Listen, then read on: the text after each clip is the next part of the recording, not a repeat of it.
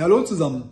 Die letzten Wochen haben sich Anfragen gehäuft, ob ich mal ein Video zu kindlichen Affektkrämpfen machen könnte. Und deswegen, here we go, kindliche Affektkrämpfe.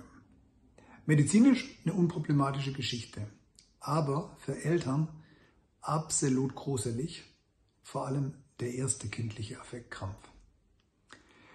Affektkrämpfe bekommen Kinder so ab dem ersten Lebensjahr. Der Höhepunkt ist meistens so mit zwei, die Hälfte der Kinder hat ab vier keine mehr und bis zur Einschulung sind die Affektkrämpfe eigentlich verschwunden. Was ist ein Affektkrampf?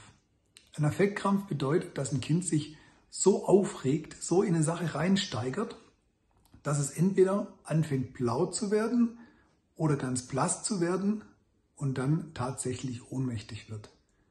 Und, das ist das ganz Schlimme, manchmal nicht nur ohnmächtig, sondern auch noch so ein bisschen zuckt und krampft, dass es aussieht wie ein leichter Krampfanfall. Das Ganze ist aber harmlos, die Kinder sind relativ schnell wieder bei sich und das ist medizinisch in den allermeisten Fällen völlig unproblematisch, vor allem wenn klar ist, dass es eben diesen Auslöser durch, ein, durch eine Emotion gegeben hat. Das ist zum Beispiel Schmerz, Schreck, Wut oder Angst. Also Beispiel, zweijähriges Kind steht irgendwo um die Ecke kommt ein großer Hund, das Kind erschrickt, hält die Luft an, fällt um. Oder Kind schlägt sich den Kopf an, hat Schmerzen, schreit, hält die Luft an, fällt um. Es gibt medizinisch ein paar Differentialdiagnosen, die man schon genauer angucken muss, also nämlich echte Krampfanfälle und auch mal Ursachen, die vom Herzen kommen.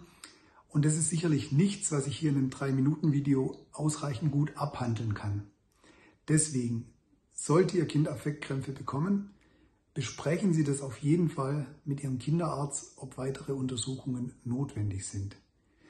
Die Botschaft des Videos ist einfach, dass Sie wissen, es gibt sowas und es ist eigentlich völlig harmlos.